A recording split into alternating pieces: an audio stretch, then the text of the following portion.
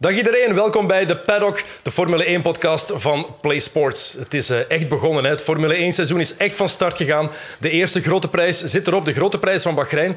En er is meteen veel gebeurd. Er is heel veel om over te praten. Dingen die we kunnen concluderen of nog niet. En daarom zit mijn partner in crime hier weer, Sam de Jonge. Welkom. Goedemiddag. Het was uh, meteen een leuk eerste weekend. Uh, goed om uh, de lente vandaag mee te beginnen. we zijn wel een beetje teleurgesteld allebei, want we hebben geen groene plastron gevonden. Ja, dat is spijtig. Oh. we hadden het afgesproken. Oh, oh. We hadden het afgesproken, maar um, ja, los vergeten. Spijtig genoeg is voor volgend jaar. Ik heb wel een groene trui aangedaan, dus ja. dat is toch wel de effort, een beetje de effort is, is, er. de inspanning is er. Um, je zit hier natuurlijk niet alleen. Ja. Wie heb je vandaag meegepakt? Wel, hij zit al e- eerder in onze studio. Uh, niet om te praten over de banjo, maar wel over Airo. Uh, het is ook een beetje een Italiaanse Romeo. Uh, welkom, Bottiglieri Massimo. Goedemiddag allemaal. Oh, het is mijn rijmer ja, vandaag. Ja, ja, het is, ja, het is lente. Het is, het is lente, kijk. Het is altijd lente Dat brengt iets naar boven. Van de Massimo. Welkom, Massimo. Hallo. De mensen die jou niet kennen, waar ben je allemaal mee bezig? Geef ze even wat, uh, wat duiding. Ik uh, ben denk ik 15 jaar geleden begonnen met motorsport als uh, data engineer. Dus het analyseren van allerlei performance van die auto's en ook vooral van de piloten, waaronder uh, gastjes zoals de Sam. Eh, daarna met feedback van gastjes zoals Sam moest ik de auto ook gaan verbeteren. Dus dan ben ik race engineer geworden en performance engineer, om uiteindelijk technisch directeur te worden en dan uh, managing director van het factory team van Lambo. Van daar zit je nu nog altijd? Daar heb ik mijn uh, ontslag gegeven een tijdje geleden wegens, uh, laten we zeggen, privéplannen en privésituaties. Ja. Uh, ja, als je Motorsport is intens, hè? Is heel intens. Kun je ook aan mij zien. mijn haarlijn kwam hier en op drie jaar is het helemaal weg. 15 kilo bij, dus ja, dat, dat, ja, dat ja. weegt wel op een, op een mens. Maar je hebt nog wel toekomstplannen in de, in de autosport? Ja, ik ben nog altijd bezig in motorsport. nog altijd met Lambo eigenlijk. En, en in die competitie, in die monobrand competition. Ja. En ook nog altijd ambitie om naar de Formule 1 te gaan? Of hoe zit dat eigenlijk? Goh, wel, ik ben, ik ben eigenlijk beginnen studeren in Engeland. Ja. Ook, denk ik, 15 jaar geleden. Om motorsportingenieur te worden in de Formule 1. Maar ja, direct instappen in Formule 1 is moeilijk. Hmm. En ik heb dan GT-wagens gedaan. En ik ben daar eigenlijk wel verliefd geworden op, op de discipline. Hmm. Als één gast beslissen wat er allemaal gaat gebeuren en daarvan de kick krijgen, ja, dat, dat, dat werkt een beetje als een terug. Ja. ik echt toegeven. Ja, en ik denk dat dat misschien ook wel een interessant onderwerp is om, om aan de mensen thuis iets meer over te vertellen van hoe intens het zou zijn als je in de Formule 1 terechtkomt. Ja. Dan, dat is een redelijk single-focused eh, leven dat je dan moet leiden. Hè? Dus ik denk als je in een privéleven wilt uitbouwen, maar in genieten van je, van je passie, wat autosport dan is en auto's, maar in die job ook kunnen doen, dan, dan kan dat bijna niet anders dan buiten de Formule 1. Hè? Is het in de Formule 1 zo moeilijk of bijna onmogelijk om een deftig privéleven te hebben? Als je daar echt zo hard in zit? Alle mensen waarmee ik gewerkt heb die in de Formule 1 waren, zijn of gescheiden of ja, hebben een hartaanval gehad of wat dan ook. Dus er zijn heel weinig die het heel lang rekken. Of je moet echt Adrian Newey zijn en aan de top zitten en een bepaalde vrijheid meekrijgen. Maar anders is, is dat eigenlijk niet te doen. Zeker als je meer reist, hè, denk ik. Als je meer reist met het team, uh, trackside dan, uh, ingenieur bent, dan zeker niet. Maar zelfs denk ik in de factory, de uren, ik weet zeker, ook bij ons in Formula I, die jongens die... Dat was ochtends om zeven uur waren die op kantoor en die, die, die verlieten de kantoor s'avonds om acht, negen uur, soms later. Dus dat is wel echt leven voor je job. Het is niet dat je er thuis niet meer mee bezig bent dan, hè? Als je, zeker als je in zo'n factory werkt of als race engineer, maakt niet uit. Dat is een job nooit. die je effectief mee naar huis neemt en dan is het vakantie.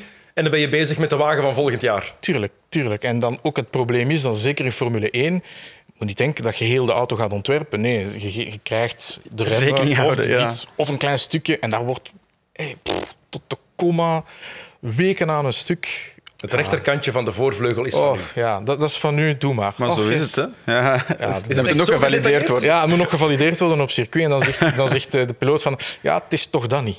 Ja. Of dan rijdt het eraf en dan zeg je dat het helemaal niet werkt. Maanden werk voor niks. Het heeft niet gewerkt. Nee. Ik, heb, ik heb eraf gereden. Ja, inderdaad. Vreselijk. Um, ja, de eerste grote prijs zit erop, de grote prijs van Bahrein.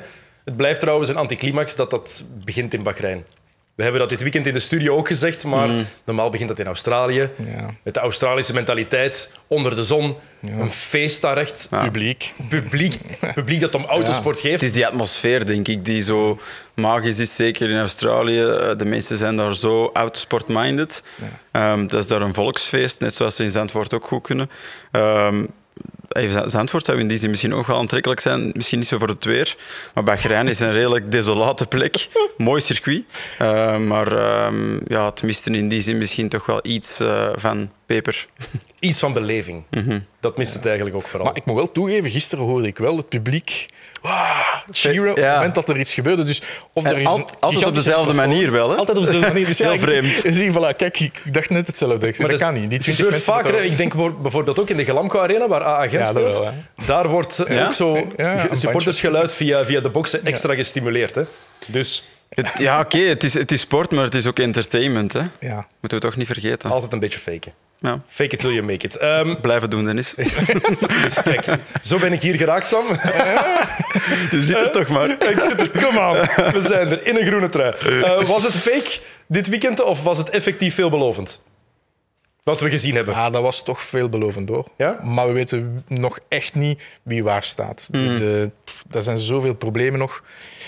Ja, Mercedes die op een seconde is, dat kan eigenlijk niet. Dat Nee. weet iedereen wel. En, en dat heeft niks te maken met slecht ontworpen. Dat is gewoon, dat zijn bepaalde fysische verschijnselen waar- waarmee dat ze nog niet kunnen mee omgaan. Maar eens dat dat opgelost is, dan gaat iedereen wel heel kort Ja. op elkaar komen, denk ik. Ja, ik denk misschien ook dat de einduitslag niet echt goed laat zien. Nee. Want ik bedoel, vierde en vijfde worden, of sorry, derde en vierde worden, is, is in die zin goed. Maar op een seconde zit dat is het ding. Hè. Dat is in, in, in Formule 1-termen gigantisch. Hè. Ja, dat is, je, je rijdt in GP2 of in Formule 2. Hè. Ja. ja. Maar de, er zijn, ja, we hebben die nieuwe regels gekregen omdat ze closer racing wilden. Gemakkelijker inhalen, beter kunnen achtervolgen. Ja. Hebben we dat nu ook echt gekregen? Hebben we, kunnen we dat al afleiden uit die eerste wedstrijd dat dat mogelijk was? Het was toch de eerste keer dat ik zag dat er vier, vijf keer voorbijgestoken kon worden met twee dezelfde auto's. Ja. Dat heb ik eerlijk gezegd nooit gezien. Dus ik denk wel dat het veelbelovend is. Maar oké, we gaan wel zien. Ja, we moeten denk ik nog een aantal andere circuits hebben met andere karakteristieken om echt te gaan bepalen of dat het totaalplaatje klopt, eh, waar ze naartoe wilden met de Formule 1. Ik denk wel dat, en dat is misschien al direct iets in de technische richting, van ze hadden misschien wel in de regelgeving direct extremer kunnen gaan daarmee. Is het extreem genoeg? Is het een tussenstap naar misschien binnen een aantal jaar nog naar meer? Want Het is altijd zo. De motorsport is zoals een beetje de, de, de Belgische fiscaliteit. Hè. Ze gaan een regeltje uitvinden en dan gaat je rondgaan. En veel dan, te duur.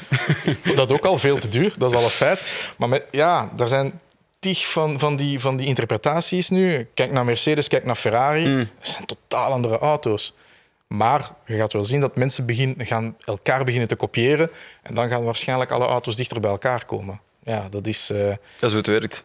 Het het, is, het is hoe dat werkt. Ja. Mhm. Maar het probleem is, met, met geld is ook niet oneindig. Tijd is ook niet oneindig. 23 racen aan een stuk. Ja, wanneer gaat je dan die, die, die, Die- nieuwe, Ja. nieuwe dingen gaan, gaan inbrengen?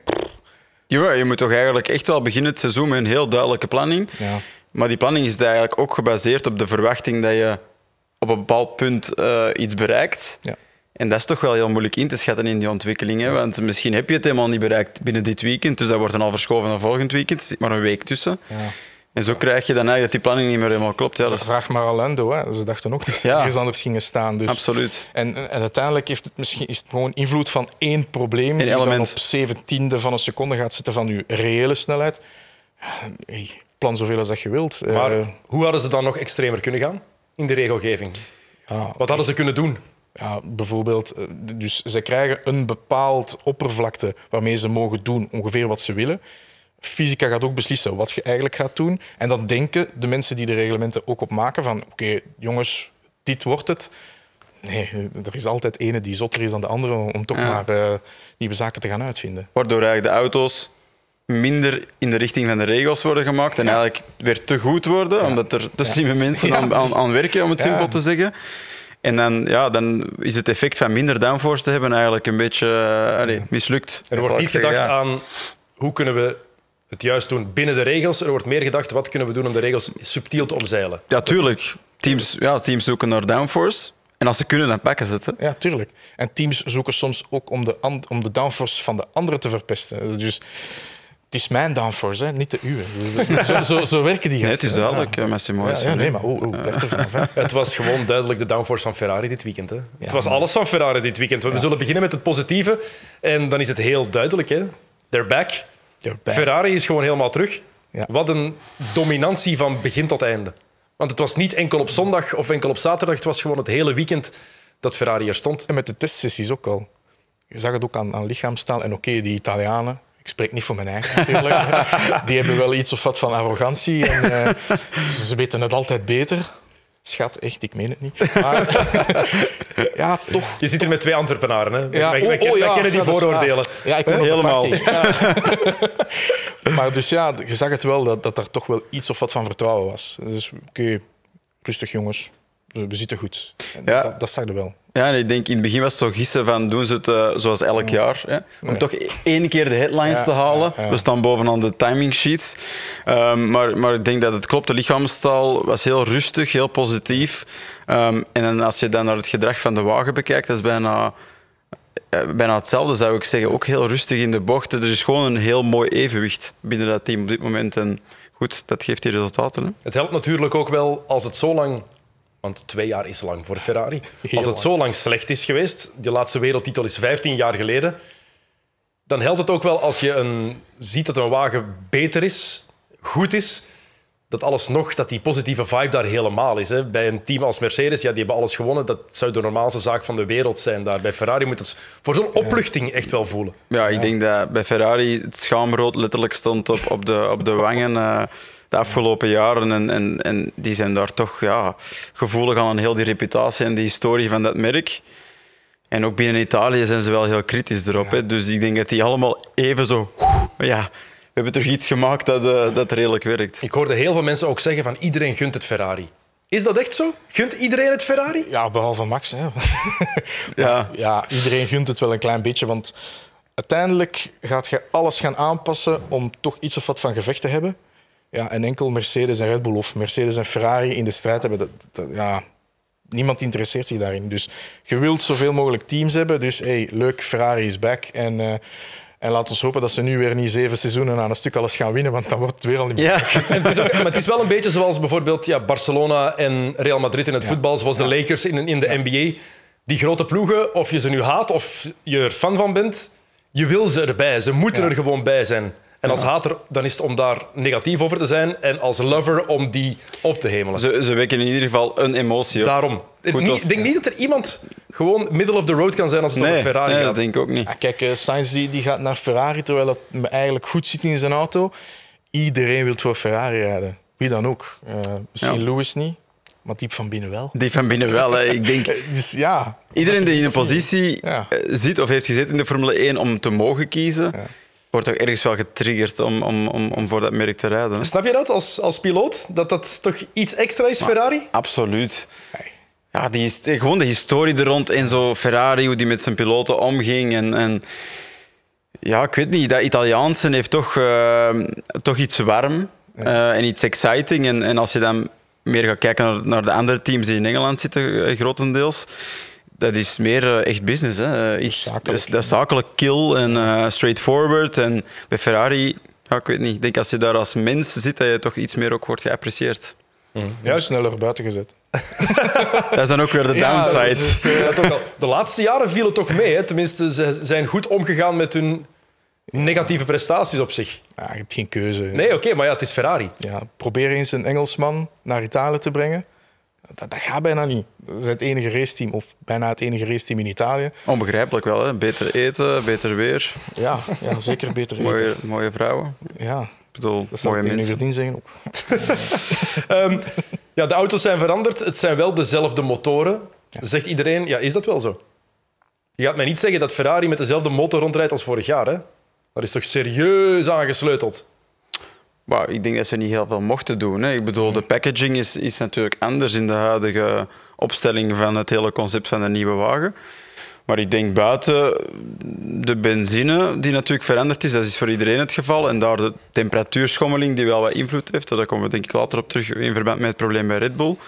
Maar op zich, uh, de power unit zou toch niet zoveel anders mogen zijn. Ja, maar het is toch wel anders. Hoor. Als je kijkt naar de andere auto's die ook met uh, Ferrari motor beter rijden, die doen het toch wel ook een stukje beter. Dus ja, zijn ze weer vast aan het spelen? Dat zullen we misschien wel het einde van het seizoen weten. Ja. Dat weten we niet. Maar, Maar is het, dan, is het dan toch een optimalisatie van...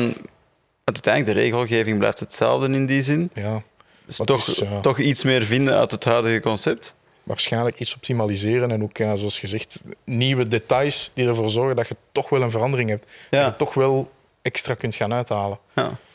Maar zoveel is- kunnen ze niet veranderen uiteindelijk. Hè. Nee, want Ja. wat hebben jullie gezien aan die wagen van Ferrari dat, nu, dat die nu dit weekend zo speciaal maakte? Of is dat te moeilijk om te zeggen na één weekend? Hom- Ik vond hem heel homogeen. Ja, exact. Die, die stabiliteit. hè. Die stabiliteit die bewoog eigenlijk niet zo. Als je mij nu zegt van ja, die hebben een mesdemper vooraan en achteraan, dan zou ik zeggen: het kan. Ja. Het mag niet, maar het kan. Ja, en ik denk ook heel het probleem van die purposing, we- toch het eh, hoofdonderwerp tijdens de testing in Bahrein en tijdens het eerste weekend nu ook. Zij lijken daar heel weinig last van te hebben, zonder te veel naar boven te moeten met de rijhoogte, wat het deels oplost. Ehm, en als we de Mercedes die ingreep zien doen om enigszins mee te kunnen, dan zien we ook direct dat ze een seconde van, van de tijden zitten. Dus ehm, Ferrari lijkt daarin misschien op dit moment het beste evenwicht in te hebben. Mooi ontwikkelingswerk. Heel mooi. Los van het feit dat het gewoon ook een prachtig team is vorig jaar. Ik vond de auto's vorig jaar bijvoorbeeld niet zo mooi Maar nu- Ferrari. nu En dan komen ze nu Oh, terug. Maar de, ik vind het- ook zo is nog stoerder. ook Ja. de racepakken. Ja. Hoe die er dit jaar uitzien, het is een totaal pakketje dat ineens, dat- waardoor Ferrari ook nog dat extra tikkeltje meer heeft. Ze rijden goed op de baan en Ja. dan zien ze er ook nog eens zo uit. Ja. Dat straalt nog meer Ze zelfvertrouwen hebben uit. stijl, hè? Ze Ja, hebben maar- stijl. Stijl, man. maar ik hoop nu wel dat ze het hè, keep it together, want Dat is natuurlijk wel... Italianen en, eh, rustig valkuil. blijven, dat is de valkuil. Hè. Ja. Jongens, het is goed, we gaan een koffietje drinken, de jongens moeten nog werken, Ja. wij zitten goed. Zie, je- zie je dat gebeuren dat ze, na- ondanks de twee jaar die ze net gehad hebben, en zeker het seizoen 2020, het, het corona-seizoen, zie je dat effectief gebeuren dat ze het nu even laten hangen na zo'n twee seizoenen? Ik hoop toch van niet, want eh, dat zou toch zonde zijn. Maar eh, Ik vind wel, eh, dat geeft toch een beetje de indruk dat Binotto, eh, de teammanager, dat die wel zakelijker is, ondanks Italiaans. het is heel rustig. Heel rustig, Hij is heel dus rustig, ja. Dat is niet iemand die zich laat verleiden misschien door iets te relaxed te gaan worden of te, te vrolijk of, of zich zo laat vangen. Hij lijkt heel gefocust te zijn en dat is volgens mij in het verleden al wel anders geweest bij Ferrari. Ik vraag me altijd af als piloot, als je die radioboodschappen van, van Ferrari hoort, de meeste Britse ingenieurs die je hoort, die, die zijn heel, moet ik dat zeggen, die zorgen voor een bepaalde boost in de wagen, zou ik denken. Daar is het altijd zo monotoon, dat ene toontje. Oké, Charles. Allee, dat is, ik, ik, Ja, maar dat ik moet vind dat zo vreemd. Dat moet wel, hè. Kijk, hij zal, hij zal het kunnen beamen. Als je als ingenieur zegt... Ah, maar stop, wat zit hier? Nee, maar- Zo, dan zeg je, oh shit, mijn auto is kapot, wat gebeurt er? Ja, Want, schietstoel, pom, weg. Ja. voilà, dat. Communicatie is niet altijd zo duidelijk. Hè. Nee, maar Pas op. kijk naar Mercedes of bij Red Bull, daar is de communicatie ook heel duidelijk. Maar toch zou, zou ik denken, als piloot zou mij dat iets meer motivatie of Nee. rust geven. Het kan aan Nee. mij liggen, daarom dat ik het jullie vraag. Hè. Nee, ik denk wel, zeker op dat niveau, die piloten die, die weten exact wat ze aan het doen zijn. Die hebben echt geen pep-talk eh, nodig. Eh, misschien push, misschien push. in andere sporten is dat iets meer, dat ook vaak teamsporten zijn. Hier heb je duidelijk je rol. Eh, als piloot is dat op zondag vooral alles kunnen bundelen en de job doen. Ehm, en dan wil je toch zo weinig mogelijk ehm, andere impulsen. Hè. En dan kan zelfs een radioboodschap, zeker op de foute momenten in je ronde, hè, voor de remzone of zo, pff, dat kan je echt wel uit, eh, uit je flow halen. Dus ik denk wel dat ze dat, ze dat goed doen. Zeg je nu echt dat Formule 1 geen teamsport is? Jawel, ja, het, is absoluut, ja, het is absoluut een teamsport, maar op zondag is er maar één iemand die het echt eh, anderhalf uur lang kan, kan doen en dat is wel de piloot. Ja, en het, maar het team kan het wel verpesten. Ja, ja, ja, sowieso. Maar er is maar één iemand die de wagen bestuurt. hè. En je hebt ook een teamgenoot. En we zagen wel gisterenavond Carlos Sainz. En die was gewoon teleurgesteld. Die kon dat niet wegsteken. Ook al was het 1-2 voor het Ferrari. Ja. Maar dat is nu al. Ik vind dat mooi. dus- ja. Het is die, die- allee, hij heeft eindelijk weer eens een podium. P2, sorry, hè, echt niet slecht. En dan, ik heb nog nooit zo'n ongelukkige kerel gezien op P2. Maar hij voelt Was de bui al hangen eigenlijk. Is dat echt ongelukkig zijn met zijn eigen prestatie? Of is dat gewoon Ja. inderdaad wat je zegt? Hij voelt erbij hangen. Hij voelt de bui direct hangen. En Dat zo hij- werkt het ook bij Ferrari. De, die dat vooraan staat, krijgt, krijgt voordeel. Absoluut. Ja, Ja. en, heeft eigenlijk wel dezelfde potentie, maar dit weekend kwam het er niet uit. Hmm. Dus eh, hij baalt echt. Eh, hij snapt de normaal. consequentie. Hij snapt direct de eh, consequentie. Betekent wel, dit dan ook al bij, dat het voor Ferrari volgende, volgende week ook duidelijk is dat Leclerc de eerste rijder is, dat, zo snel ga je die conclusie toch niet Nee, trekken. nee. Nee, niet, ja, niet over de hele lijn, maar je hebt natuurlijk wel maar één iemand die nu het kampioenschap leidt en dat is Charles Leclerc. Ik denk, op voorhand had je de analyse uit geweest, denk ik, van Leclerc is, is een beetje de speerpunt in de, in de quali, durft iets meer, heeft misschien iets meer intrinsieke snelheid. En Sainz is de mature piloot die eigenlijk het altijd doet werken, nog vo- vorig jaar, eh, de punten binnenhaalt en dan in de long run zou je kunnen zeggen, tijdens een kampioenschap haalt hij het misschien boven Leclerc, maakt minder fouten. Maar natuurlijk, we hebben ook al Charles Leclerc gezien, als hij in de juiste focus zit Ja. en geen fouten maakt, Zoals gisteren. zoals, gisteren, zoals heel het weekend, Ja. dan is ook wel echt moeilijk te kloppen. En ik denk dat Sainz dat al heeft gevoeld van, oeh, Ja, ik zit hier nog te ver af. het stinkt. Ja, het stinkt, ja. Wel nog eens de bevestiging ook van wat we al lang wisten. Er is veel jong talent. Maar omdat Ferrari een beetje middle of the road was geworden, dan is het gemakkelijk om daarover te kijken. Ook al hebben ze vorig jaar ook podia gehaald. Maar Leclerc en Sainz, daar heb je twee jonge gasten bij waar het talent gewoon ja, zo overduidelijk bij te zien is. En, en natuurlijk, het wordt best moeilijk als je een wagen hebt om te winnen. Hè. Ik bedoel, dan, dan wordt het ook tussen twee teamgenoten lastig. Eh, Ik bedoel, op dit moment, om even te switchen naar Mercedes, eh, vooral Hamilton, Russell, op voorhand heel veel over gezegd. Tijdens het afgelopen weekend heeft niemand zich nog de vraag gesteld, is Russell bedreigend? Omdat het op dit moment niet relevant is. Ik bedoel, dit is bijna een zachte introductie in de relatie tussen die twee piloten, wat eigenlijk Mercedes ten goede komt. Want stel nu als ze wel een wagen hadden ha- gehad die vanaf het begin eh, capabel was om te winnen, had hij misschien wel direct die clash gehad hè? tussen een Russell die bam, zijn punt wil maken en Hamilton is al established. Ik denk dat Mercedes het in die zin wel gemakkelijker heeft nu. Hoe lang gaan Sainz en eh, Leclerc nog vrienden blijven? Tot, eh, tot de eerste crash zeker. Ja, inderdaad. Ja, ik denk dat dat klopt. Zien, niet- zien jullie ze effectief tegen elkaar rijden? Ja, op een bepaald moment gaat het toch wel gebeuren. De Ja, ene gaat toch wel zijn kans willen, willen pakken. Ik bedoel, als Carlos plots ziet van, kijk, nu eindig ik ervoor, krijg punten, ik zit, dan ben ik nummer één in het team, dan gaat hij het toch doen. Ja, vanaf dat Carlos Sainz eigenlijk eh, een stap maakt in zijn snelheid en erbij is, dan, dan heeft hij heel veel kansen. Hè. Dan gaat hij ook proberen. Hè. Ja. Klopt. Eh, je zei het al, Mercedes daar geen discussies over wie nummer 1 en nummer 2 is, omdat het niet aan de orde was. Gewoon, dit was de ultieme damage control die ze bij Mercedes konden, konden krijgen dit weekend eigenlijk. Ja. Plaatsen 3 en 4. Ja, met een gelukje nog, hè, natuurlijk. Maar Ja, Maar daar hadden maar ze toch wel indrukwekkend. Hadden ze op voorhand ook Allee, voor getekend. Ja, dat denk ik ook. Ja, dat denk ik heb ik nooit wel. Hamilton zo blij gezien met een derde plaats. Eh, Nee. die, was, eh, die was echt opgelucht. En zij weten ook wel van, kijk, lossen wij dat probleem op, dan zitten wij wel op een andere planeet. Ja. Het is niet een echte seconde. Een echte seconde vroeger in de, in de vorige era, dat was... Als je op één seconde zit, ja, mijn auto is eigenlijk al bijna doorontwikkeld. Eén seconde, dat is Maar niet leg dat nu eens uit voor de, voor de autosportleek of leken die niet in het vak staan, die niet weten wat het is om aan een auto te sleutelen, zoals ik bijvoorbeeld. Ik weet niet wat het is, hoe je dat dan... Dat je zegt nu, er zit zoveel potentieel in. Hoe zie je dat? Hoe weet je dat die auto met de juiste aanpassingen een kampioensauto kan worden? puur en alleen door het probleem dat ze hebben. Dus Ja. die, die porpoising, dat, is, dat is, het heeft zo'n invloed. Terwijl de auto, je ziet al hoe extreem ze zijn gegaan met, met, met die sidepods. Eh, het is ook Mercedes, ze weten nog altijd wat ze doen. Dat zijn, dat zijn geen toeristen. Dus ja, als ze het zelf ook zeggen van... Jongens, we hebben hier zoveel potentieel, maar we kunnen het er nog niet uithalen. We moeten gewoon onze auto afstraffen omdat we een gigantisch probleem hebben. Ja, natuurlijk, ik zit niet binnen in de garage, maar je gelooft toch wel wat, wat, wat je hoort en wat je ziet. Ja, inderdaad. Ik denk dat als, als, als we het juist begrijpen, hebben ze de rijhoogte omhoog moeten doen van die wagen om die purposing eigenlijk tegen te gaan. En die porpoising, dat is dat op en neer botsen op en neer. wagens. Ja, het is eigenlijk niet botsen. Hè. Nee, het, is, het het, is, een vicieuze cirkel van het, effect van downforce cirkel, dat werkt. Het is, het is eigenlijk een instabiliteit. En Ja. instabiliteit betekent gewoon kortweg wetenschappelijk. Je doet iets en dat onderhoudt zijn eigen en dat wordt zelf nog erger. Maar het Dus ziet er eruit iets aan doen. als een wagen die op en neer ja, stuitert. ja. Zo ziet het eruit. Ja, en, hij kan, en hij kan dus evenveel vooraan als achteraan stuiteren, maar ook enkel de voorkant of enkel de achterkant. Ja. En als we weten hoe belangrijk aero is op die auto's, die balans verandert continu. Die verandert continu. Ja. is, dat is, dat is onbestuurbaar. ja, je hebt- Dat je is hebt- onbestuurbaar. voor, voor, een, voor een fractie van een seconde heb je je ultieme downforce eigenlijk, wat je moet hebben. En die gaat terug weg en die komt terug en die gaat terug weg. Heb je het al Dat meegemaakt in een wagen? ergste. Ehm, nee, nee, zoiets heb ik. Ja, Hij heeft het wel mee, maar niet op die manier. niet op die manier. Hè. Want bijvoorbeeld de proto's waarop hij rijdt, is de voorkant. De voorkant raakt aan de grond. Als je de grond raakt, komt daar geen lucht onder. Dus wat doet hij? Die voorkant, die voorkant gaat terug naar boven. Maar dat wordt dan gedempt door de schokdempers, door het design van de auto. Opgevangen eigenlijk. En ook, ja, daar is niet, eh, ik zeg maar, drie ton eh, aan, aan aero op die auto's. Dus dat speelt toch wel een groot voordeel. En hier op zo'n Formule 1, dat is eh, pff, gigantisch hard. Ja. Het moet onmogelijk zijn om een wagen dan ja, deftig te kunnen, te kunnen besturen gewoon ook. Ja, Wat en, wat de piloten ook zeiden zelf. Hè? ja, Ja. en daarom gaan ze dus om, omhoog met de, met, de, met de rijhoogte, om dat dus te voorkomen.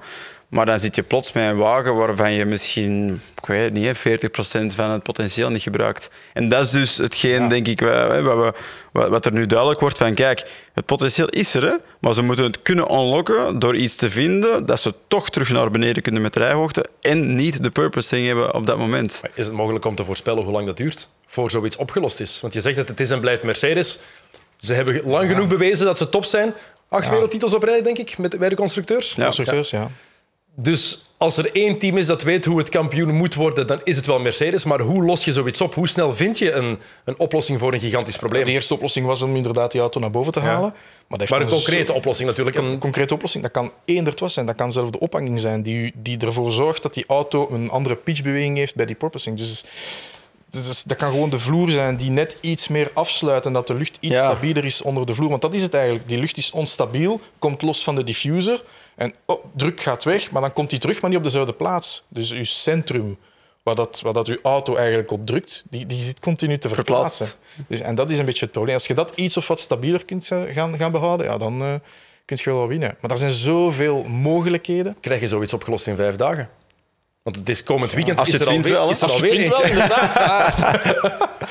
Maar het is, het is, het is Misschien gewoon- moeten we dat eens sturen naar hun. Ja, ik, ga- ik ga een keer een sms Brief, als je het vindt. En dan zo. Hi Toto, this Wolf is Sam. hi Toto, this is. Sam from Belgium. zo koptelefoon. Godverdomme, die mannen hebben het gevonden. Hè. Die mannen in België. Die Dennis die kan echt alles. Hè? Maar wat zijn de conclusies nu voor Mercedes? Eh, in mijn ogen twee dingen al heel duidelijk, wat we ook al wisten. Natuurlijk is Hamilton nog nummer één daar. Ja. Want heel veel te doen geweest over gaat Russell Hamilton bedreigen. Ik denk dat ze dat bij Mercedes zelfs niet zouden toelaten dit seizoen. Maar ik denk ook wel dat Hamilton is natuurlijk de stabiele factor in dat team. En ze zoeken naar stabiliteit, letterlijk en figuurlijk. Dan moet je ergens wel uitgaan van de persoon die het langst eh, al in dat team zit. En eigenlijk in die wagen, ook al is het helemaal, helemaal en het andere meeste wagen. wereldtitels ooit heeft. Ja. Helpt natuurlijk ook. hè. Absoluut. De meeste feeling en de meeste ervaring. En- Ja, ik bedoel, alles. Hey, jongens, het is Hamilton. Hè? Het blijft Ja. Hamilton. Hoe dat je het draait of keert. Want er was wel veel over te doen op voorhand. Hè? Gaat Russell Hamilton bedreigen? Gaat hij hem in gevaar kunnen brengen? Gaat hij Ja. voor meer stress bij, bij Hamilton zorgen? Voor de wintertest wel, hè. Ja. Maar Ja. toen, ja... Als je Russell zelf hoort, dan zegt hij: "Oh, Jongens, eh, ik laat wel eh, de Lewis met rust. Hij is de kampioen. Ja. Ik kom binnen. Ik heb het al bewezen, want anders was ik hier niet. Dus leg de druk eigenlijk een beetje bij, bij Lewis. En Lewis moet het maar, moet het maar doen. Ja. Het zou wel eens het laatste seizoen kunnen van Lewis zijn. Jij zei net, Sam, het is een goede introductie voor, voor Russell in een topteam, omdat die druk er niet meteen helemaal op staat. Maar is het ook niet een beetje vloeken voor zo'n gast? Die komt van Williams, heeft jarenlang niks anders moeten doen dan een wagen ontwikkelen. En nu komt hij dan bij dat topteam. Maar Ja. is het team nog niet top? Voor, we hebben één grote prijs gezien. Ik weet het, het is een beetje overdreven gezegd van mij, maar ja, jullie zeiden het ook, er zijn problemen. Ja, absoluut. En dit is, we doen een analyse van het afgelopen weekend. We kunnen natuurlijk niet in de toekomst kijken. Dat zou leuk zijn, maar ehm, dat lukt nog niet. Ehm, nee, maar ik had het misschien iets specifieker. Natuurlijk is het voor Russell ergens frustrerend. Ik bedoel, kan je in een winnende auto stappen? We hebben het hem zien doen in Bahrein trouwens. was, eh, en een fantastische job gedaan. Het was niet tegen Lewis, het was tegen, tegen Valtteri Hij Bottas. had moeten winnen toen ook. Hij had moeten winnen, absoluut. En bedoel, misschien had dat zijn carrière nog iets anders beïnvloed. Dat zullen we zien in de toekomst. Maar ik had het meer over de introductie tussen die twee kemphanen, zal ik maar zeggen. Die is nu iets zachter omdat ze, weer omdat ze aan het vechten zijn voor een gemeenschappelijk goed. En dat kan in de long run denk ik wel helpen. Ze kunnen al iets meer aan elkaar winnen.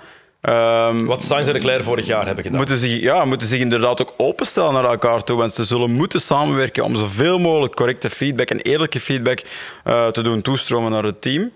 Ehm, dus ja, dat, dat is gewoon een helemaal andere ehm, realiteit dan we misschien hadden gedacht op voorhand van het seizoen. Van die twee gaan strijden om de overwinning. Het is niet waar. Dus Ja, wat we Ja. ook niet hadden gedacht voor het seizoen, is wat er met Red Bull gebeurde gisteren. Ja, Dat had toch niemand zien aankomen? worst case. Ja, Echt? niemand, niemand had het echt zien aankomen, inderdaad. Nee. Maar het is, het is echt zo kort op elkaar dan nog. Dan is het van, ah shit, ah, punten kwijt. Oké, maar het is goed, we hebben nog 22 races. En Perez valt dan ook uit en dan, dan, Dan worden ze toch even... ja, dan, dan, dan begint het. Ja. Ja, Ik, want ik, ik heb live kunnen zien gisteren tot rondje 52. Toen reden ze gewoon nog allebei mee. Ja. Ja. En daarna kreeg ik, ja, en daarna kreeg ik van onze klankman te horen van ja, eh, de twee Red Bulls zijn uitgevallen. Ik, hoe, hoe, die, wat, die, hoe die zijn uitgevallen allebei. Ik heb het opnieuw daarna helemaal bekeken, maar dat ja, verwacht je gewoon niet. Had je niet zien aankomen tot je de eerste radioboodschappen van, van Max dan begint te horen en de problemen die hij met, zijn, ja, met, zijn stuur, met het sturen eerst al Ja, had. dus was, eh, De steering... eh, apart. ja, steering... leek toch. ja. Ze zeggen dat het door de pitstop komt dat de steering rack eh, iets of wat beschadigd was. Door En- het droppen van, Ja, de, van de ja, jack, dat de auto naar beneden kwam. En, maar dat is eigenlijk wel heel vreemd, moet ik zeggen. Maar het zal wel, er zal wel een oorzaak zijn. Maar, nooit echt oorzaak kennen, nee, ook niet. nee, inderdaad. Ehm, maar, maar dat is eigenlijk ook wel interessant om te zien dat eh, het, het uiteindelijke probleem heeft daar niks mee te maken. Nee. Maar ze hebben dus meerdere problemen gehad eigenlijk tijdens Daarom, de race. ja. Het is niet enkel van ze zijn uitgevallen. Als we eigenlijk naar Red Bull kijken op zondag en, en al op zaterdag tijdens de kwalificaties, niet top. Hè? Ik bedoel, iedereen dacht van oké, ze gaan tijdens het raceweekend alles opendraaien, iedereen naar huis rijden. Je kon het gewoon aflezen bij Max Verstappen op zijn gezicht na de quali van die, die snapte heel goed van oei, als dit onze ultieme vorm is en ik heb alles gegeven Ja. en we zijn tweede op een al- anderhalve tiende van Leclerc, dan is het gewoon niet goed genoeg. Dus ik denk dat er wel wat zorgen zijn binnen het eh, Red Bull-team en zeker na die laatste paar rondes. En dat niet goed genoeg zijn in de kwalificatie stond dan nog los van de problemen die er gisteren waren. Ja. Niet? Waarschijnlijk wel. Momenteel wat we weten is dat het een, eh, een fuel eh, issue zou zijn, maar het kan niet zijn ook rond de fuel. Ja, het is, het is fuel, fuel supply. Hè, dus Related, ja. Fuel related. En het kan zijn dat Jos niet genoeg gerekend heeft en hij heeft eh, 10 Ja. kilo te weinig erin Ik wist dat de Jos was. Hè? Ja, maar het is, de Jos die is, die is er overal tussen altijd. Peter had die fout niet gemaakt. Nee, Peter niet. En eh, Ah, Jean-Marie ook beter niet. Hm. Ehm, nee, Dat kan, dat kan zijn, Ja. maar het probleem is dat alle teams die hebben dezelfde benzinepomp. Die hebben allemaal dezelfde fuelpomp. Dus of je hebt net de twee slechte gehad uit de doos, hè, maar dat zou mij toch wel verwonderen. Of er is echt wel een probleem, een issue die iedereen gaat beginnen krijgen. Ja, ja, inderdaad. Dus eigenlijk binnen, de, binnen het hele systeem van die fuelpump zijn er een aantal standaard onderdelen die nu geleverd worden. Door de FIA is fout gezegd, dat zijn de leveranciers. Maar de FIA heeft gewoon een tender uitgestuurd, denk ik, in 2019. eh, voor welk bedrijf? Ik denk dat het Bosch is die het aanleveren in Magneti Magneti Marelli, Ja, Italianen. Italianen. Ja. Eh, eigenlijk heeft Massimo het gewoon in zijn achtertuin gemaakt. eh, en dat is het probleem. Heb er wat materiaal over. Ik heb al een foto gestuurd naar Christian Horner. Dus, ehm, nee, Een plastieke pomp. Dus, dus komt het daarvan, dat, dat, die kans is eigenlijk klein. Want anders, het, het kan, hè. het kan, maar het, is wel toevallig dat het net op die twee wagens is. Ja. Of zijn de onderdelen er rond, die Red Bull wel zelf ehm, manufactured, eh, die het probleem hebben veroorzaakt? Eh, ja, we weten nog niet genoeg, maar het is in ieder geval ergens... Er zat fuel genoeg in de wagen, maar het is niet bij de motor geraakt. En, Ja, ik, ik heb het zelf persoonlijk meegemaakt, zoiets dergelijks. In de GT-wagens, niet op mijn auto, maar de laatste bocht, de Parabolica in Monza, zijn er toen in de laatste ronde, net voor de meet, acht auto's uitgevallen. Allemaal zogezegd zonder benzine. Dat is gewoon een cut-off valve. Ja. Dat is als de druk te laag komt, slijt die klep, klep af. En komt er gewoon geen benzine meer toe naar de motor. Dat is een veiligheid om te vermijden dat als, als de motor eraf gerukt wordt, dat de benzinepompen blijven, en dat blijven die- pompen. Ja, Dus ja, het kan ook zoiets zijn als het er überhaupt bestaat op, op die Formule 1-auto's. Want het valt wel op. onderdelen kennen we niet. Het valt wel op wat jij net zei, Sam. Ja, beide auto's. Hè. Dat is de belangrijkste nuance, denk ik. Als het bijvoorbeeld alleen bij Max was gebeurd en Perez was, had geen enkel probleem gehad, dan had het gewoon alleen een uitzonderlijk probleem kunnen zijn. Ja. Maar het is bij, zowel bij Perez als Verstappen gebeurd. ja, en dat is denk ik... Ook dat kan toeval zijn, hè, maar het is wel iets meer een referentie. En dat was er een probleem bedoel, ook nog bij Gasly. Maar dat is iets helemaal anders. Ja. Dat is pech. Dat is Echt, pech, Voor helemaal de. Red Bull brand, zal ik zeggen. Ja. Dat is ook nog eens een derde auto die dan stuk gaat. Ehm, maar wat er gebeurt op die Red Bulls, ja, ik bedoel, het- is natuurlijk voor alle teams trouwens. Hè. De eerste keer ehm, dat ze een echte race distance doen in real life conditions, want zo moeten we het bekijken. ook die, die, de warmte daar in Bahrein. Heel zwaar circuit, ehm, voor de auto's ook. En dan nog eens die safety car vlak voor het eigenlijk gebeurt. Dus die wagens zijn nog meer opgewarmd. Ja. Zeker aan de scène erop dat hij aan het rijden was, safety car? Ja, inderdaad. dus, dus... parking aan het zoeken of zoiets? Ja. Dat niet. Ja, Wonen in Antwerpen. Ja. Um, um, dus allee, er, zijn, er zijn nog zoveel uh, elementen. Um, we kunnen wel iets uit de lucht grijpen, maar, ja, klopt dat? Het is, dat? Het is wat ik ook ging zeggen. Van, kijk, het kan, kan minder vast zijn. Je ja. moet echt weten. Voor het je heel zeggen, het is gewoon een rekenfout. En ja, daar gaan we nooit over, over praten. Dat, dat ja. Nee.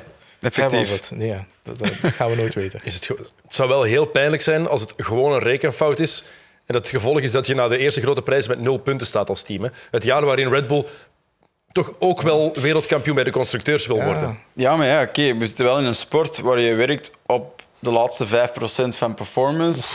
Of nog kleiner. Nog kleiner, ja. Nog kleiner. Het is nog extremer. Dus... Het is echt extreem. Het is, uh, dan moet drie kilo of drie liter uh, erin zitten. Wel, dat gaat er ook in blijven. Geen druppel meer. Ja. Ze meet alles met de flowmeters. Ze weten exact op welk moment hoeveel benzine ze al verbruikt hebben. Als daar ook een eikingsprobleem is, dan, dan, dan krijgt ze zo van die, van die toestanden. Ja. Voor we die problemen kregen, hebben we natuurlijk wel een heel leuk duel gezien tussen Verstappen en Leclerc. En wat jij daarnet zei, niet één keer, niet twee keer, maar het bleef komen. Ze bleven elkaar maar, maar aanklampen eigenlijk en het elkaar moeilijk maken. Maar toch was die Ferrari wel sterker uiteindelijk. Die, die Ferrari was, was zeker sterker, maar ja, op een bepaald moment gaat Max ook eh, zijn wielen blokkeren, een beetje forceren, een beetje eruit. En dan, dan creëert je de gap, de gap die groter is dan één seconde. Zit je niet meer in die, in die DRS-zone of die DRS-mogelijkheid. Ja, dan, dan, dan, dan is het gebeurd. Maar ik denk wel, in vergelijking met vroeger, dat je langer in die seconde kunt blijven ja. van die DRS. En dat gaat net het interessante Zonder je banden te verkrachten. Ja. Eigenlijk. Want vonden jullie het verschil op de baan tussen Verstappen en Leclerc klein genoeg? Voor de problemen er waren. Hè? ik denk, er zijn ook, nog, ook daar een aantal elementen die meespeelden. De pitstops. Uh, bij Ferrari, denk de eerste pitstop bij Leclerc niet, niet perfect gelopen aan de rechterboorband. Ja. En dan ook de drop-off van die band. Dus uiteindelijk een verse band was dan ongeveer drie seconden rapper op die openings of die outlap. Waardoor dat Max zelfs met niet te pushen op die, op die outlap bij Leclerc geraakte. Hè? En die had, hij had 3,5, 4 seconden achterstand. Dus dat zijn allemaal zo'n dingen die, die nieuw zijn. Dat is allemaal nieuwe informatie. Um, Red Bull heeft ook uiteindelijk gezegd van ja, we hadden Max misschien harder moeten laten pushen. Maar we dachten, ja, mogen die band niet te veel... Ja, maar niet te snel gebruiken. Ja, dus dan heeft hij nog een grotere drop-off en dan gaat hij nog meer zitten, zitten zagen. My tires are dead. En, ja. Ja, en dan, dan komt hij voor een vijfde pitstop. Dus ja, het is, het, is, het is heel moeilijk in te schatten. Ja, eigenlijk moet je toch concluderen na dit weekend dat ondanks de Formule 1 zo'n technische, hoe moet je het zeggen, um, Wetenschap. wetenschappelijke bijna sport is, dat we na dit weekend nog altijd een beetje aan het uh, graspen zijn naar facts. We zijn aan het gissen. ja, we, echt we zijn aan het gissen. Dat, de... E eerste conclusies zijn eigenlijk bijna altijd slecht. Hè? ja, maar uh, ja. dat is zo, hè? Zoals eerste indrukken. Hè. Ik weet het altijd slecht. Maar het is wel verbeterd. Hoor, ik vond het wel een coole dus- gast samen vanaf de eerste keer. uh, het mooiste verhaal van dit weekend waren de mannen van Haas. Ja. Vooral Kevin Magnussen. Ja. Die mens is net terug. Hoe lang is hij terug in de Formule 1? Twee weken? Hmm. Zoiets? Ja, was aan het zwembad? Ja, twee weken. Ja, ja, nog niet zelfs, denk ik. En top 5, alsjeblieft. Ja, Gunther Steiner, zijn, zijn glimlach kon niet breder zijn. Jammer genoeg voor hen heeft Mick Schumacher wat pech gehad. Ja. Ja. Want ik vond iedereen daar heel streng over, eigenlijk. Over Schumacher. dit is het moment dat hij zich moet bewijzen tegen Magnussen. En ja, Magnussen heeft beter gereden. Maar dat tikje dat hij krijgt in de eerste ronde, dat hmm. zei hij zelf ook na de wedstrijd. Hij zei van dat kan ook een gevolg hebben gehad voor mijn, mijn wagen, want ik voelde me daarna minder stabiel in maar de wagen. Absoluut. Hè. Als je de tik ziet op het achterwiel, die uitleiding van die auto... Die, die staat zo paraplu. Hij, zegt het ook van... Het is, is die laatste... Ik noem het de halve procent waarin dat ze werken. Ja, ja. krijgt daar een tikje. Het is al gebeurd. Plus het feit dat, dat uw race ook een andere filosofie, enfin, een andere morfologie heeft omdat je achteraan er begint. Bottas doet ook een slechte start. Zijn race is ook eigenlijk naar, naar de botten. Dus ja. naar gelang de positie waar je staat, zit een bepaalde trein. Je hebt er lang op gewacht. Welk? Op je tweede woordmopje van de aflevering, 38 minuten. Knap. Hij heeft geen geld bij voor zijn 5 euro. maar hij zat aan zeven vorige afleveringen, dus ik, ben, ik, ben, ik, ben, ik ben aan het turven, dus het, valt, het valt eigenlijk nog heel, valt eigenlijk nog heel goed mee. Uh, maar wat, wat vinden jullie dan van de race van Schumacher? Hoe moeten we dat, kunnen we daar al echt een oordeel over vellen na wat er eh, gisteren met die wagen is gebeurd? Ik, ik vind van niet. Ik vind van niet. Hij wordt, daar, hij wordt daar wel op een bepaald moment bij, bij de herstart. Zit hij op een fantastische positie. Dat je zegt van, oh, dat zou toch wel leuk zijn voor hem.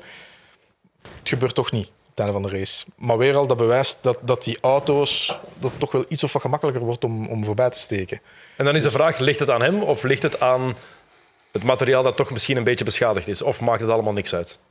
Maar, ja, het is begin van het seizoen. Hij gaat ook geen domme risico's pakken om zijn mm. positie te gaan behouden. Plus, hij was, we moeten even kijken naar, naar kwalificatie. Magnussen had al een voordeel, hè? Ja, um, pure, pure snelheid. Dus ja, we moeten inderdaad niet te hard zijn voor, voor Mick Schumacher. Het is de eerste race, wordt nu volledig in de schaduw gezet van die comeback van Magnussen, wat toch wel, moeten we natuurlijk wel benadrukken, redelijk sterk is. Hè.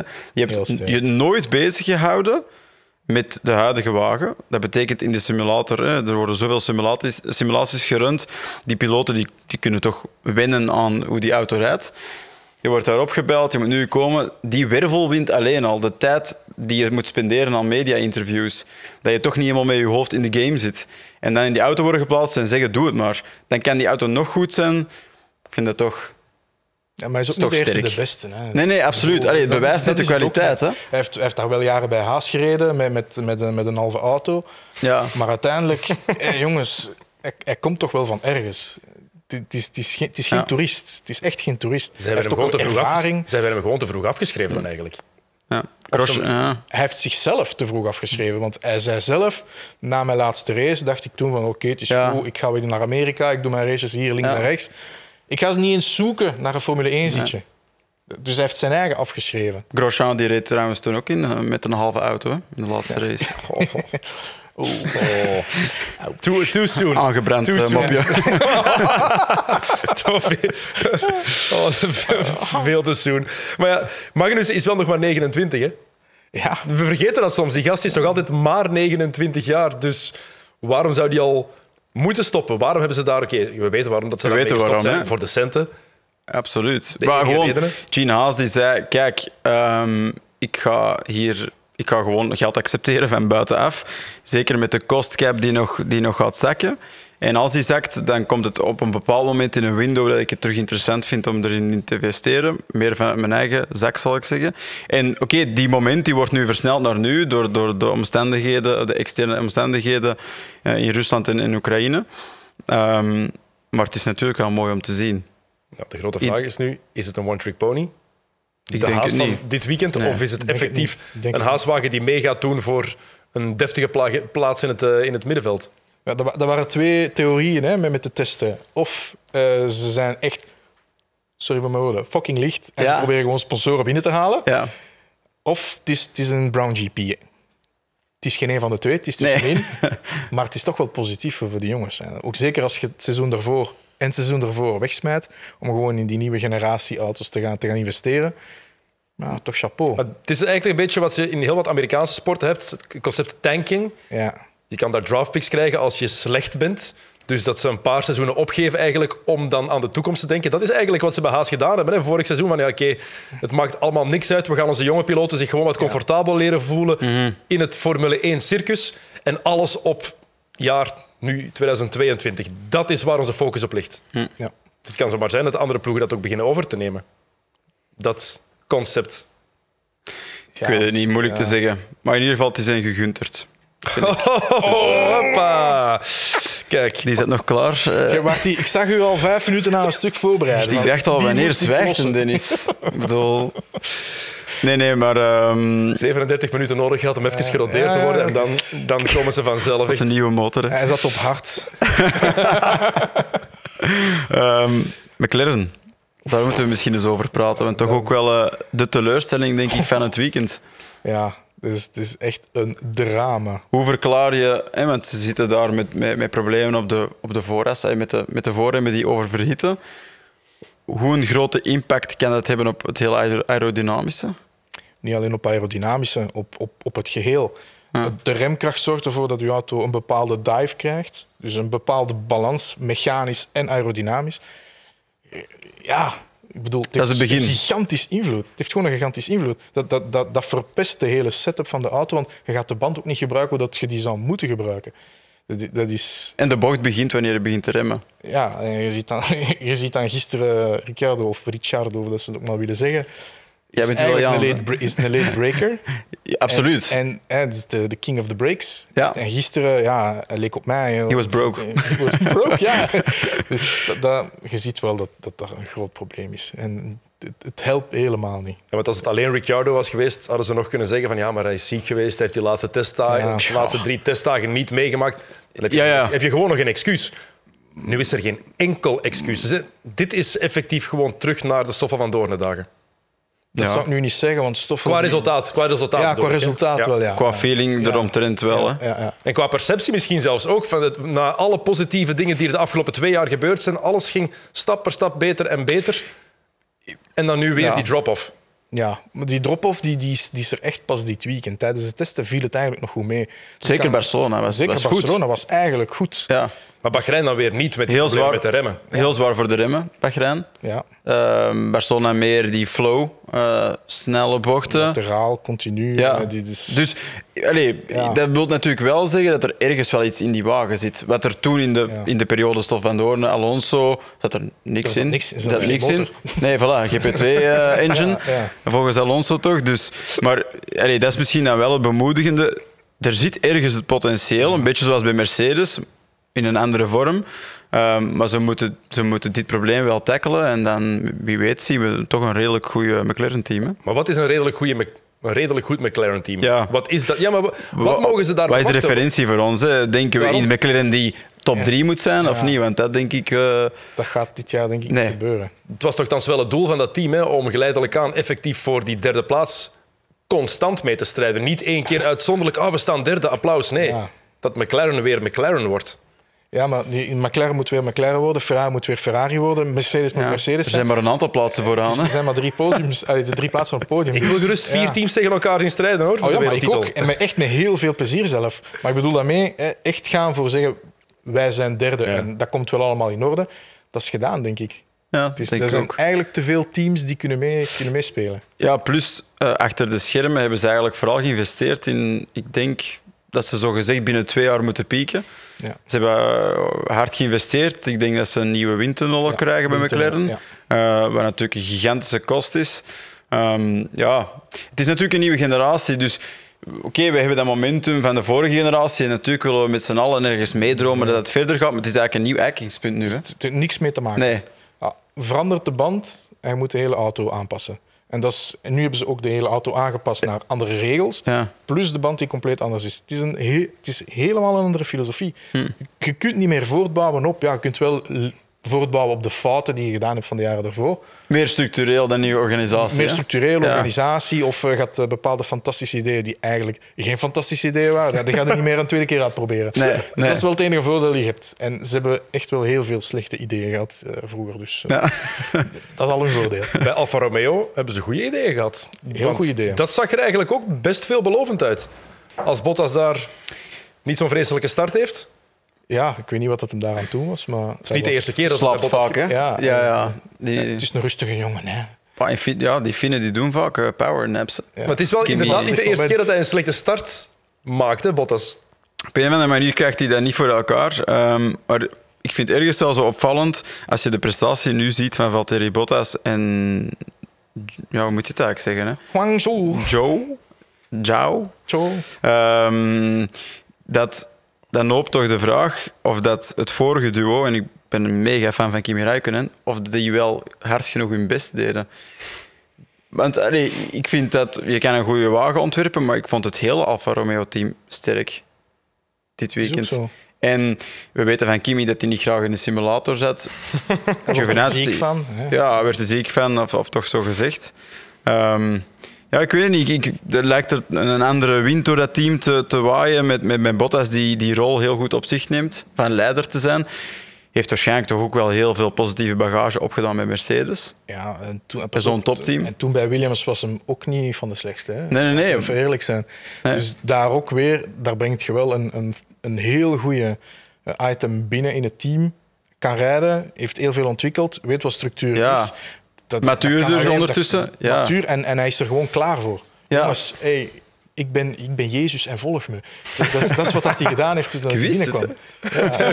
Daarom zit hij hier. Daar- Eh, de uitspraak, blijkbaar is het officieel Wang Yuzhou. Wang Zhou. Yuzhou. Wang Yuzhou. Zhou. Dat moest dus zo. Dat weten we. Voilà, dus dan weten we het Dank u, meteen. Dennis. Kijk, Ja. Goed zo. het, was, het moest dus zo. Ja, maar is het nu Ricciardo of Ricciardo? Ah, Ken je, ken je dat? Ken je dat eentje?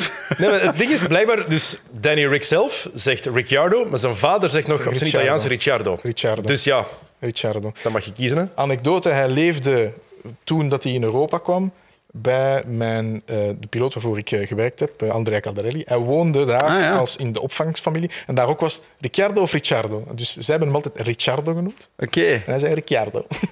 dus ja, Hij spreekt zelf ook geen Italiaans, denk ik. Hè? geen, geen, geen woord. Dus, allee, Jawel, een beetje de basis, maar dat doen alle piloten. Margarita Bolognese, la pasta, dat kunnen we allemaal. en, ja. Bira. En, eh, Als je af, af en toe langs een dat Giovanni loopt in Antwerpen, dan allee, de, de prego's vliegen nu om toch, oren. ja, pikt het toch op. Hè? Je hebt geen keuze, die vliegen de oren. Prego, prego. Ehm, nog een teleurstelling erbij halen? Graag. Aston Martin. Meer een verwachte teleurstelling, vind ik. Allee, ik. Ik vond ze erg mak overkomen tijdens de testing. Ze hebben ook heel veel moeite met, eh, met het minimumgewicht. Eh, Ze zijn eigenlijk veel te zwaar. Ik heb ook dat probleem. Maar, eh, Oké, goed.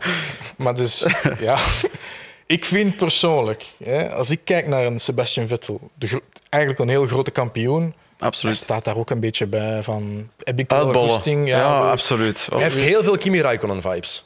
Ik vind, ik Het vind is zelf tof, maar het moet allemaal niet meer. Hij is, ja, hij is heel veel bezig met, Ja. met de wereld te verbeteren. En pas op, hè, is, respect. eh, hè. respect. Maar Op een misschien moet je, manier, maar ik wel, op een positieve manier. Op een heel positieve manier. En, en gelukkig is hij daarom nog in de Formule 1, want hij heeft daar gelukkig dan een platform om, om zijn stem te gebruiken. Maar de vraag is natuurlijk, als je misschien in je hoofd daar al zoveel mee bezig bent, kan je dan nog, heb je dan nog genoeg ruimte voor een sport zoals Formule 1, die, die heel veel van je hersenen, Lewis kan het. hersencapaciteit... Maar ik, ik denk dat ja, het ik moet, weet het het. moet, moet toch wel kunnen. Maar En het verschil- onderscheidt Lewis misschien van de rest. Hè? Maar je merkt toch gewoon, ook als je, als je Vettel hoort via radioboodschappen vaak, en vroeger hoorde, dat verschil in drive is toch heel duidelijk aanwezig. Die goesting lijkt, want ja, we Ja, ik kan niet in het hoofd van Sebastian Vettel kruipen. Ja. Daarom dat ik ook zeg, de perceptie is zo. Het lijkt alsof het voor hem ook allemaal minder moet. Hè? Het is nu gewoon tof. Ik ben blij dat ik nog in een Formule 1-wagen mag rijden, maar dat is het dan ook. Misschien ga ik wat kort door de bocht, maar zo komt het voor mij wel over. Kort door de bocht. hè. Onbewust. Ah, check, ja, vijf euro. Nee, maar het is, het, is, het is gewoon een heel delicaat... eh, het is een delicate analyse dat we moeten doen daarover. Want je- we mogen niet zeggen dat het zo is. Ja, daarom We dat ik mogen zeg, het niet- lijkt voilà, zo. De we mogen niet concluderen, maar ik vind ook dat het zo lijkt. Je hebt dan nog eens een teamgenoot naast u met, de- met de uitstraling van een vod. In, in, in Lance Stroll, Ik bedoel, dat is ook niet bemoedigend. Eh, Kunnen we daar wel zeggen dat het meer is dan dat het lijkt alsof hij er geen goesting in heeft? Ja, als Hulkenberg komt op zijn badsloeven en, eh, en hem naar huis rijdt, ja, dan heb je toch wel een zwaar probleem. Ja, Dat vind, ik, dat ook. vind ik. Hè. Dat vind ik ook. Ik vind het echt niet kunnen, want dat is nog van een ander niveau. Hij weet niet eens welke kleur de auto heeft, bij manier van spreken, wanneer dat het daaraan komt, Hulkenberg. En ja, hij rijdt alles naar Vlaanderen. En tuurlijk, het is, het is, het is echt, echt ook een goede piloot. Ja, ja, Dat ja. kan gewoon niet. Nee, dat kan ik ook gewoon niet. niet. Met de voorbereiding die zo'n... Welke voorbereiding? Ja, alleen ik bedoel, de Ja, voorbereiding die ah, Stroll Ja, heeft. die Stroll heeft, ja. Die, die, die, die, die twee racepiloten krijgen voor het seizoen. Ja, sorry, maar dan moet je toch in de focus zitten dat je, dat je alles eruit kan halen. En nu lijkt hij gewoon, ja, lijkt gewoon vaak niet echt zin te hebben erin. En Het is geen werker. het is geen werker, Het is nee. geen voilà. werker, helemaal Het niet. kan toch niet dat Va- Lawrence Stroll, vader-eigenaar van een team, dat hij daar niks over zegt tegen zijn ploeg, het is een, eh, tegen zijn zoon. Het is een duidelijk hardwerkende mens, anders word je geen miljardair. Klopt. Dat is heel simpel. Ja. Je kan alleen maar door ongelooflijk hard te werken of door te sjoemelen. Want die mens heeft duidelijk hard gewerkt in zijn leven.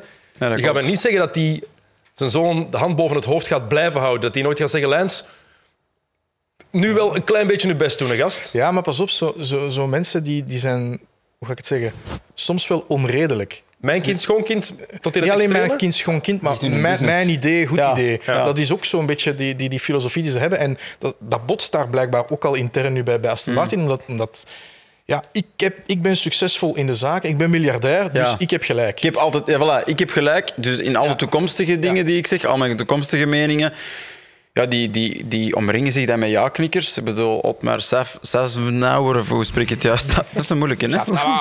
Hoe zeg je het? Weet jij het? Nee. ik hoop dat mij... Ik vond Otmar Saf gewoon een goed. Otmi. Ehm, eh, die is naar Alpine gegaan, eh, ook omdat hij zei van, hè, er, mag maar, eh, er kan maar één pauze zijn binnen een team.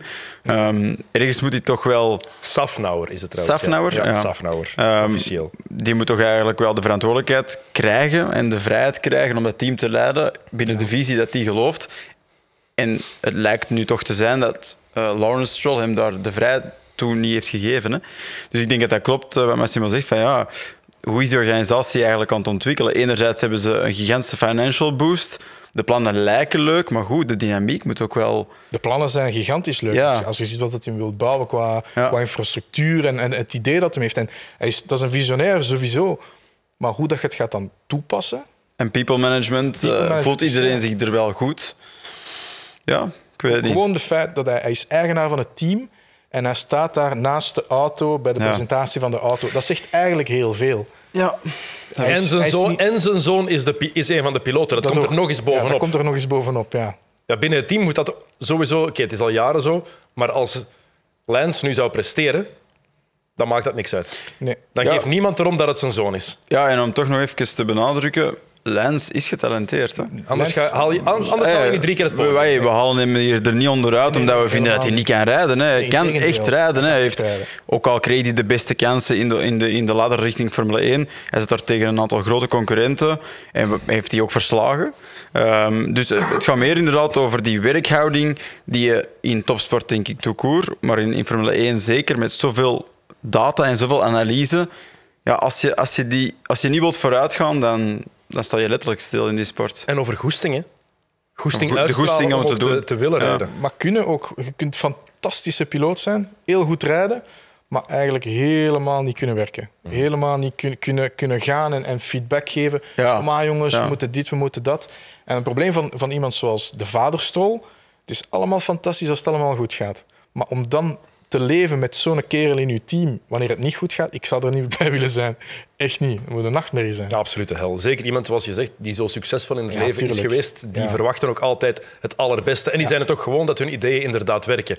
En als het dan niet werkt, het gaat niet aan hen liggen. Hè. Nee, je hebt het gewoon Zelf- slecht uitgevoerd. Dat is echt bend or break. Hè. Ik bedoel, dan liever kapot gaan en eh, langs de achterdeur verdwijnen, Ja. dan te willen toegeven dat de filosofie niet in de klopt. spiegel kijken is voor, voor, is voor een andere reden. Ja. Bij, vele, bij veel van die mannen. Uh, Alfa Tauri, Williams en Alpine, daar zullen we het volgende week nog wel over hebben. Eh, na het volgende weekend, want we kunnen niet te diep op alles ingaan. Eh, en Alfa Tauri, ja, dat is heel spijtig. Die pech voor, eh, Ja. voor Gasly, Ja. die wel redelijk vlot uit zijn auto sprong. Ook wel snel... eh, het werd snel warm. Ja. Daar. Niet fan van barbecue. Nee. Hij eet liever pasta. Eh, wat zegt dit nu over de, voor de volgende grote prijzen? Want we hebben enkel het circuit gezien in Bahrein, zoals je al zei. Het is een zwaar circuit daar. Eh, het is niet het snelste circuit altijd. Dus wat zegt dit nu voor de volgende grote prijzen? Ik, ik durf er mijn geld er niet op zetten, puur en alleen door het feit dat er die, die grote problemen zijn bij, bij al die teams. Het kan zo zijn dat, dat McLaren volgende keer eh, die staan op, op 2 en 3. Het kan allemaal. Dus ik ga daar mijn geld niet op, niet op zetten. Maar Ferrari heeft het al wat gemakkelijker, laten we zo zeggen. Ja, ja ik, denk, ik denk dat we deze week al, dit weekend, of, allee, ik denk dat we daar al een beetje hetzelfde gaan zien als afgelopen weekend. Hè. Lijkt mochten daar eh, heel veel gevonden zijn. Misschien dat er een aantal auto's iets beter werken op, op, op dit circuit dan, dan in Bahrein. En verder denk ik, moeten we uitkijken naar binnen een aantal Grand Prix, wanneer de teams wat tijd hebben gehad om eh, te analyseren en aan te passen. Maar momenteel denk ik niet dat er veel gaat veranderen aan de rangorde. Oké, ehm, komend weekend is het in Jeddah. Wat betekent dat? Wat voor, voor circuit, wat voor race verwachten jullie daar? Heel snel circuit, hè? Ja, dat wel. Nog maar één keer gezien. Daar zeker? Ja, één Vorig keer. Vorig jaar. En. Volgend Vorig jaar eerste seizoen, ja, volgend seizoen is het een Ja. echt circuit, hè, een, een andere layout. Nu is het een stuk statuscircuit. Goh, ja, eigenlijk moeilijk te zeggen. Ehm direct natuurlijk een circuit waar de muren dichtbij staan. Dus, ehm, Het is wel tof dat het meteen zo'n contrast is op met de de, limiet eerste wel, prijs. Het is meteen iets helemaal anders. Dus we gaan misschien volgende week maandag compleet andere conclusies trekken. Ja, misschien wel. Ik bedoel, de, de piloten zelf zitten ook nog in een leerproces. Het zijn zwaardere wagens en, en we zagen ook piloten Ja. iets, met, iets anders met die band werken, omdat ze nog niet alle info hadden. En, Maar als je ziet, begin van de race, hoeveel fouten er gebeurd zijn, Ja. zich compleet verremmen. Puur en alleen door het gewicht en ook die banden die anders gaan reageren bij, bij die massa. Ja. Ja, in Jeddah zit je tegen beton. Hè. Het gaat tof worden. Het gaat tof worden. Het gaat tof worden. Ehm, live te zien, de grote prijs van eh, Saudi-Arabië, is dat zeker? Ja. Ja, absoluut. Het is maandag. Maandag is alles wat moeilijker. Ehm, op Play Sports, zaterdag de kwalificatie, zondag de race. Dat kan u dus live volgen bij ons. En maandag is er een eh, nieuwe paddock. Dan zitten Sam en ik hier eh, opnieuw om eh, wat te zeveren over Formule 1. Maar dat is positief zeveren, dat is niet negatief bedoeld. Vergeet de fantasy ook zeker niet. De link die zal onderaan in de comments komen op eh, Twitter, op eh, Instagram en op YouTube. Dus als je daaraan wil meedoen, dan kan je daarop klikken en dan kan je daar ook onze code gebruiken en kan je meedoen. Eh, Sam, je zit na twee afleveringen aan 12 woordmopjes. Savan nog. ja. Dat is er eentje om de 10 minuten. Het is, het is bijna een volle tank. Ja, ik mag ook niet overdrijven. Hè. Ehm, en, en voor mij is het ook maandag, dus ik bedoel, misschien moeten we, moeten we het op vrijdag of zo zetten. Zo rond tien uur s'avonds. Ehm nee, ik hou me nog een beetje in. Ik moet ook nog soms iets nuttigs zeggen, want anders dan eh, word ik eh, misschien hier wel vervangen door, door Massimo of door iemand En anders. vrijdag moet ik Eh, over Ik basket kom niet van praten, dus- Antwerpen, dus basket. niet. Vri- Vrijdag moet, ik, vrijdag moet ik over basket praten, dus Ja. er, zijn, er zijn keuzes in het leven. Oké, Massimo, merci om tot hier te komen. Het was plezant, het was ook heel leerrijk. Dus eh, kom zeker nog eens een keer, eh, nog een keer langs in dit seizoen, zou ik Ik kom niet zeggen. ver, dus ik kom zeker. Ja, perfect. Sam, dikke Merci. merci. En ik zie u volgende week zaterdag. Nee, ja, nu zaterdag al. Nu zaterdag, hè. maar we zitten niet samen in de studio, denk ik. Dus Oei. jij gaat me moeten missen. Wegsfeer. Goed. eh, bedankt om te luisteren, of om te kijken, of om allebei te doen. En eh, wij zien en horen elkaar zaterdag voor de grote prijs van Saudi-Arabië. Heel graag tot dan. Salut.